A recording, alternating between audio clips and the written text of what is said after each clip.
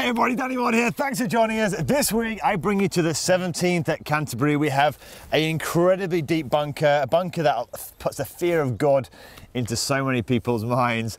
And we've got a special guest who's going to show us exactly how to get out of these bunkers. Before we do, if you're new to the channel and this is one of your first videos, consider subscribing.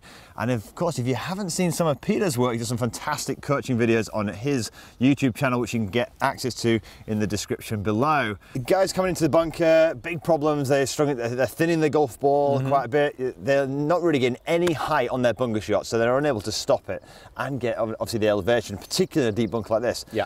What's, what's some of the problems you find when you're coaching people? Well, I think the first thing that I do try and get people to do is actually get a wedge which is going to suit them. Yeah.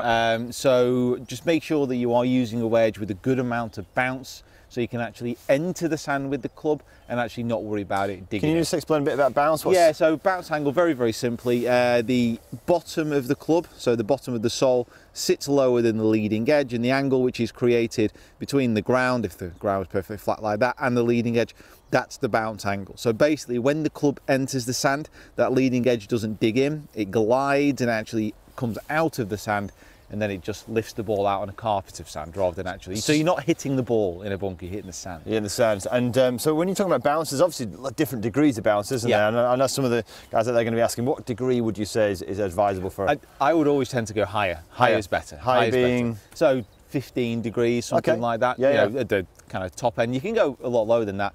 A lot of it depends on the conditions and what you're going to be using the club for. Yep. So if you are someone who plays a predominantly wet course, something like that, you know, a higher bounce would help you because the club again is not going to dig in even on the fairways. You see a lot of pros, they don't have loads of bounce because yep. they, you know, they're a lot better, frankly. Yeah, yeah. Um, so having a high amount of bounce really isn't something that should be avoided. It should be encouraged for many golfers. Fantastic. So, so getting into the shot, then how mm -hmm. do we, how do you get the uh, your clients to kind of start using that bounce correctly through the sand so we can start popping that ball up? So the first thing that many people struggle with, this, this is the one thing where I would say 80% of golfers can't quite figure out, certainly when they begin, is that they need to hit the sand first yep. before the ball. It's a bit of a weird concept, you know. If you're playing a bat and ball sport, you want the bat to hit the ball. Absolutely. Not in bunkers, you don't. It's not in the bunkers, though. You want to be hitting the sand. So what I tend to do is get people to do a little bit of a drill. So just a very simple line drill. Yep. So a line which indicates the ball position where it'll be in the stance. Uh, depending on how much you want to open the face, depends on how much you open the stance. Uh, there are different ways of actually playing bunker shots with square stances and all the rest of it, but I'm the, the simpler the better. yeah, absolutely. So you want to be, I've got a 60 degree uh, wedge here. So I'm just going to open up the club face just a little bit. Now when you open up the club face, that's obviously going to alter your aim. So that's when you start to pull the body around to the left-hand side. I want to see the ball position just forward of centre, and then I want to see a little bit of weight on that left side as well. Okay that combined with a bit of a quick wrist hinge, that's going to allow you to get down and enter the sand. So you kind of want the club, in a sense, from here's the ball off the inside left heel. Yeah, just the inside left heel. 60, 70% on your left side? Yeah, I, yeah. yeah, about 60%. Okay, a lot of it depends on what the lie is, how much you want to get the club down into the sand.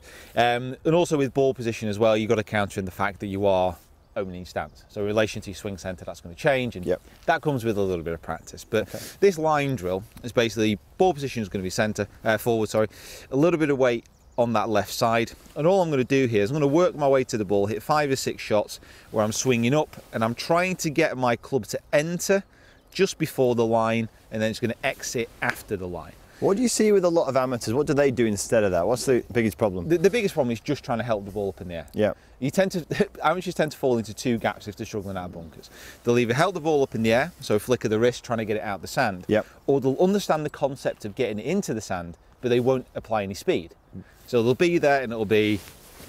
And uh, yeah, that's a common one. And just kind of wonder why it's not popping out. Yeah, yeah. You know, you've got to apply the speed, and so it's, it's, difficult. So it's, it's it's also requiring a bit of confidence, isn't it? They've got to, you know. So yeah. how would you how would they develop that? You know, is it would you practice hitting shots into the sand without hitting balls initially, just to I, kind of get a feel? Yeah, this, that's what this line drill is really good yeah. for. You know, it gets them used to actually entering the sand and hitting the sand. And to be fair, with bunkers, because people do get quite scared of them, yeah. I, I tend to give them a choice. I say, well, okay, if you're going to hang back and flick it, you're going to thin it. Yeah. And if you don't accelerate, you're going to fat it. Yeah. So does that sound like a good idea to you? and no one's going to say yes. Yeah, absolutely. So I'm like, well, hit the sand before and accelerate through. Perfect. And it kind of it kind of just jars them out of it a little bit because a lot of people approach bunkers with fear, but you hear the commentators say all the time, you hear professional players say all the time. Sometimes they want to be in a bunker. Absolutely. It's not a difficult shot. If you get a good line, you get a good bunker. So show us, show us, what, show us the kind of the depth of sand that you'd want to be taking in a, in a bunker. so we'll, well, no, this one. No, that Um, what I want to be taking, I just want to be taking something like it's kind of a It's a nice you- sound that as well, isn't it? yeah. I always kind of like to picture it as kind of like a twenty pound note, something Yep. like that, that type of sign. Yep. And I don't like to take too much sand. Yep. But that's I'm I'm a relatively good bunker player. I've practiced. I I know the depths of sand that I want to be taking. Yep. You know, I would always recommend that quite a few players probably take a little bit more sand to begin with while they get used to it, and then just try and get used to more of that kind of enter and skim. I think, it's a, I think it's a great drill, yeah. Yeah, and it just it just gets people just used to just walking kind of up the line. See, that would have been a little bit clean. That'd be clear. Yeah. Walking up the line and actually getting the idea of just bottoming it out before, skimming it through. But what I, what I really love about um, this exercise um, here as well is like you've, you can see the depth of sand you're getting into, Absolutely, yeah. and the fact there's no ball there, you're not kind of um, you're not seeing the ball flying over the green or, or leaving it in front of you, so you're not losing confidence. I think it's a great place to start, isn't it? Just to Yeah, kind of build 100%. that confidence into what you should be doing through the impact area. Yeah, it's great. I love it.